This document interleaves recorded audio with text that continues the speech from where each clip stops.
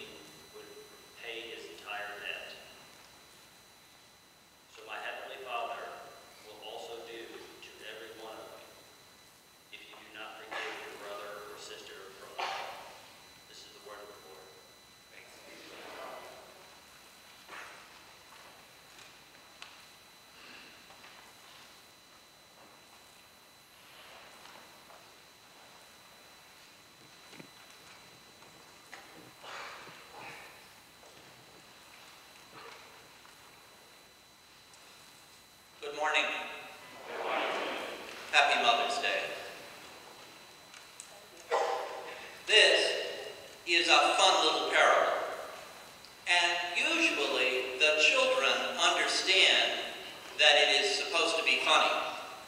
Sometimes the adults miss that because we know that it's scripture and we know that it's supposed to be serious. But Jesus' original audience didn't know that, and Jesus used humor with them to make his points. I particularly like the quiet humor with which Jesus first exaggerated by saying that the one servant owed 10,000 talents, and then casually said, and he had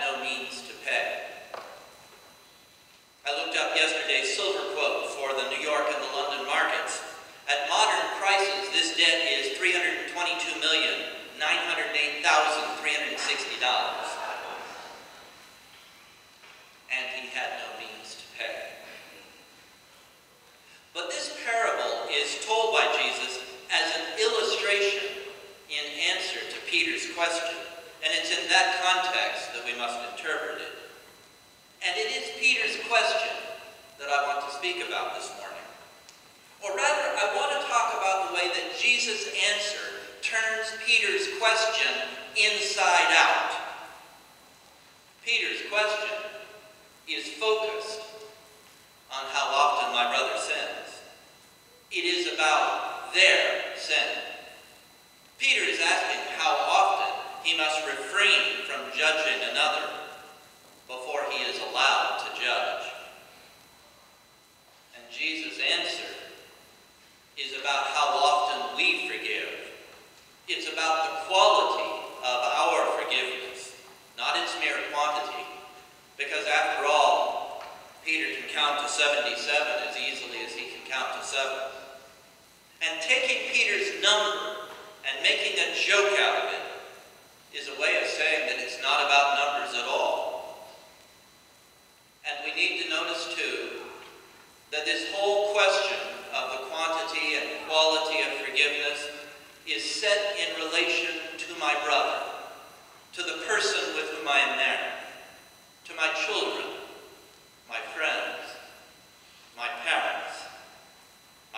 congregation, our immediate community. We're not talking here about strangers and enemies. The scripture does have things to say about strangers and enemies, but that's in another passage, and that's a different sermon. We need to notice also that nothing is said here about whether or not the brother asked for forgiveness sincerely. Actually, insincerity doesn't matter a lot because we are all of us a bit insincere when we ask for forgiveness. This parable and Jesus' answer to Peter's question are about who we are because of forgiveness. Forgiveness is first and foremost about us, about who we are and who we become because of forgiveness and because of granting forgiveness to others. It is about our being changed to be like Christ. It is only secondarily about the other person being changed. And this holds even for God's forgiveness of us. God's forgiveness changes us for sure, but not as much as it changed God. Because granting us forgiveness changed the ineffable, invisible, immortal, holy God into a simple human being. The application of this passage is mostly to long-term relationships, marriages, mother-child relationships, family, long-time friends, congregations. Casual friends we change when they mistreat us. Acquaintances never even become friends if they do anything that even needs forgiveness. Strangers, we almost learn to hate if they hurt us.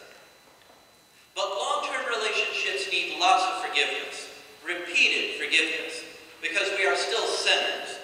Because even being in love doesn't prevent us from being sinners.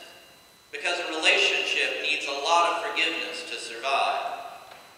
Any relationship that's close enough to call family, to call enduring friendship, needs lots of forgiveness in order to survive. And in these relationships, we sometimes make the mistake of thinking that because we forgave somebody once for whatever it was they did, because we still love them, even though they did that terrible thing, that we are done with all that, that we can forget it now, that we've put it behind us.